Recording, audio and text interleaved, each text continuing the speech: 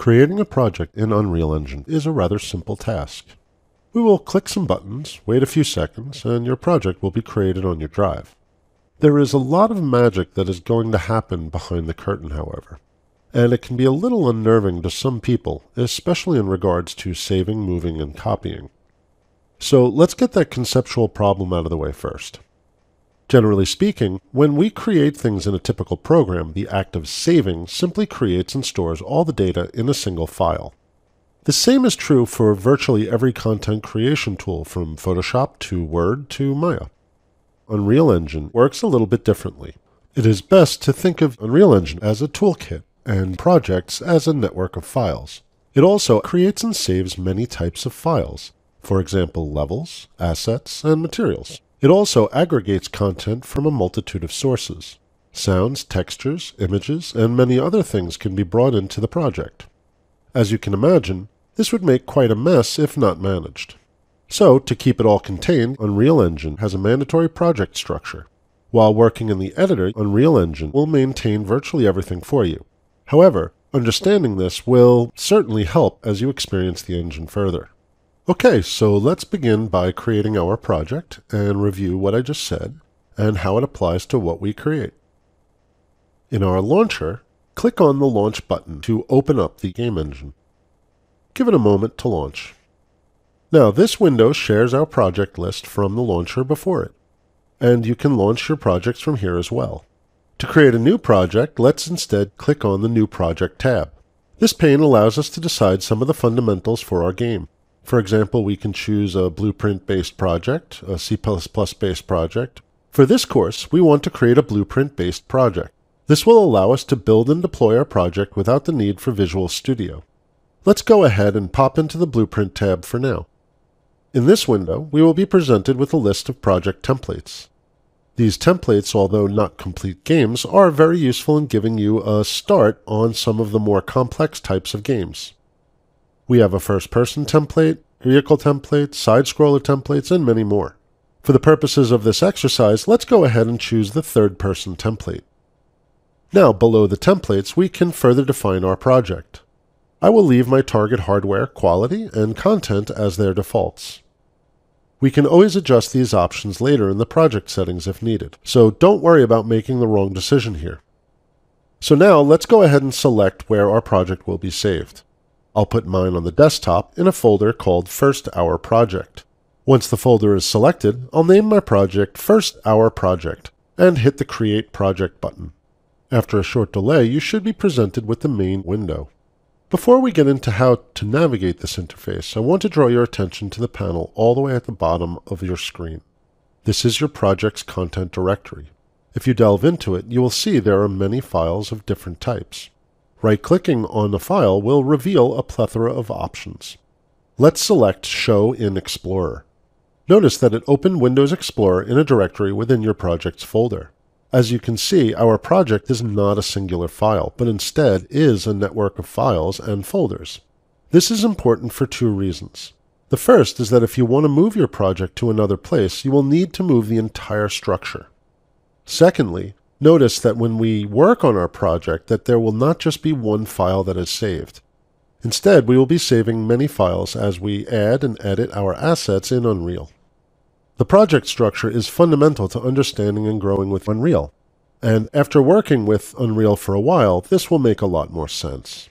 Okay, so now that we have our project created, let's go ahead and begin to explore the way to manage some of the basics of the UI interface.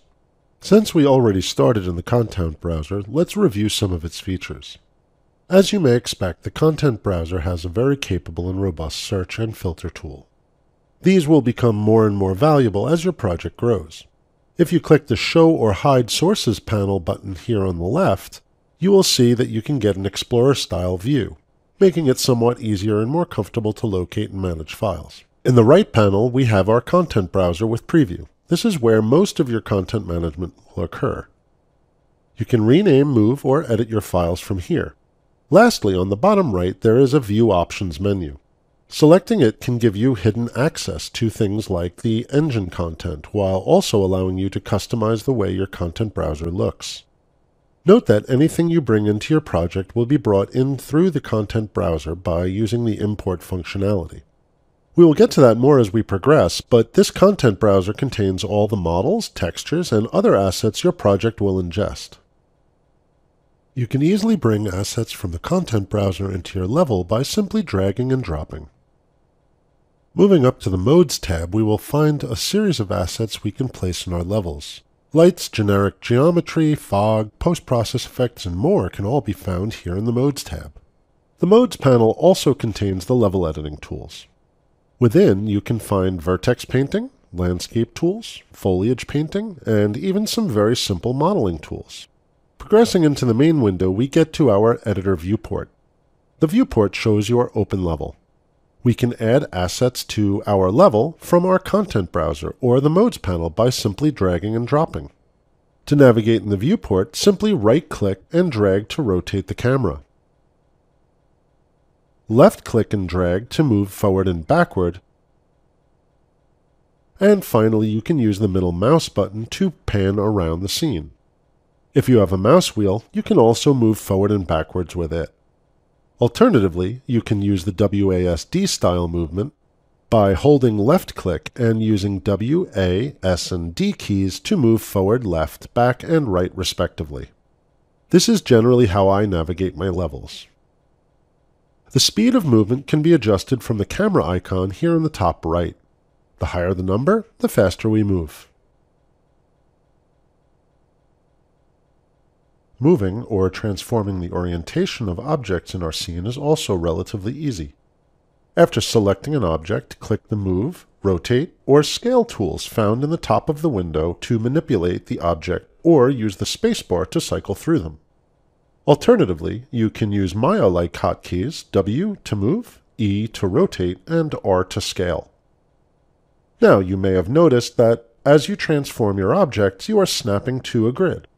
Sometimes this can be very, very helpful. Sometimes not so much.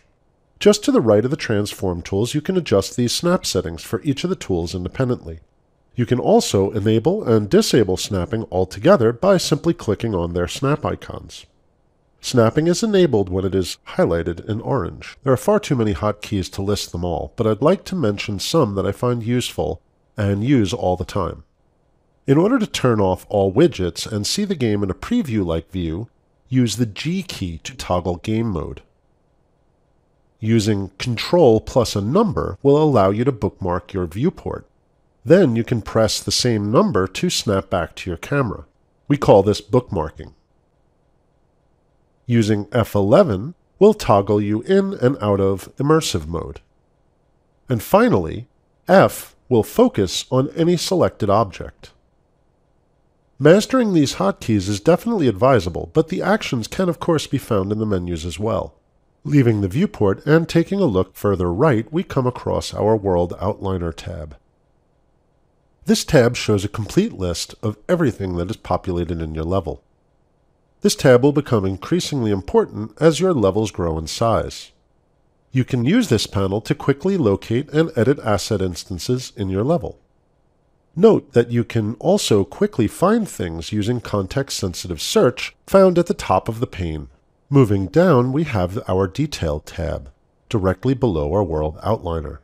The contents of this tab will change based on the item selected in the level, and will allow you to edit the parameters of the objects in your scene. Selecting a light, for example, will display the light's parameters for editing. Selecting a post-process volume gives you options relative to post-processing effects and so on. As you can see, it gives us a quick and easy way to adjust any items in our level. Coming back to the center top, we have our toolbar. On the left is a convenient Save Current button, allowing you to save your level with one click. The toolbar also gives quick access to your world and project settings. You will certainly need to know where they are located as your skill grows, so I'd suggest making a mental note of their location. Additionally, your level blueprint, cinematics, build tools, and playtest tools are also found up here. Be sure to recognize that any of the buttons on this tab with an arrow on the right can fly out to show more options. Lastly, we have our typical pull-down menu options across the top. File, Edit, Window, and Help. In the File menu, you will find the ability to create or open new levels, save content, and also provides access to the deployment tools. For now, I'd like you to pay special attention to the Save All item. In the beginning, I would suggest you use this whenever you make significant changes. It will ensure anything you have open is saved related to your project. Moving over to the Edit menu reveals typical copy-paste tools, as well as reiterates the level and world settings. Sliding over, the Window menu allows you to open a variety of additional toolboxes you may need. The Help menu gives you quick access to a variety of learning tools available. Before moving to the next tutorial, take some time to familiarize yourself with the UE editor. Why not check out some of the toolboxes found in the Windows dropdown? Try moving objects around in the level. Try out some of those hotkeys I mentioned. Just poke around and have some fun. Once you feel you are ready for some more, click into the next tutorial.